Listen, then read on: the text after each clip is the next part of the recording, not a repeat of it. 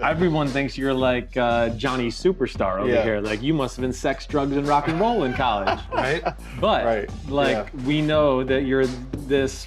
When this person time you had a drink? 22 years old. It was the first time I had a drink. But you did have a drink at 22. Yeah, I did. Why all of a sudden? Well, it was uh, to impress a chick. Oh, We were in Vegas.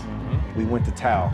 This was back when Tao was like, you know, it was at its Big high, it was at its peak. Yeah. Huge Buddha. Yeah, yeah, stuff. he was built up, right? Champagne bottles, you know, coming nonstop. And the first drink I decide is gonna be my first drink ever is Patron, straight from the bottle. No chasers, just straight tequila. what I can't get over is you're Reggie Bush and Yeah. you're the man, and you needed the liquid courage. For whatever reason, I needed the liquid courage to get me there, You and to get me to that point, and I blacked out. Right. I wake up the next morning.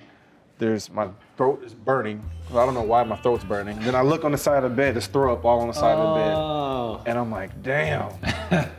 like, what happened? I got the hangover from hell. The hangover. The hangover from hell. So I'm like drinking water and all kinds of stuff. The next day, all my boys were like, man, you were on fire last night. I was like, really? What I do? One of my other boys was like, you turned into the Incredible Hulk. Like, you just get really strong for no reason. They were like, you were picking people up, you were moving people out the way. Oh my gosh. I've seen those guys before. Yeah. You were Frank the Tank that yeah, night. I was Frank the Tank. So, big star, Heisman Trophy, rich Reggie Bush. yeah, yeah. Did it work at least? It did. Okay. Um, it works. Um, but yeah, it was just one of the. It was a big price to pay. It was a big price to pay.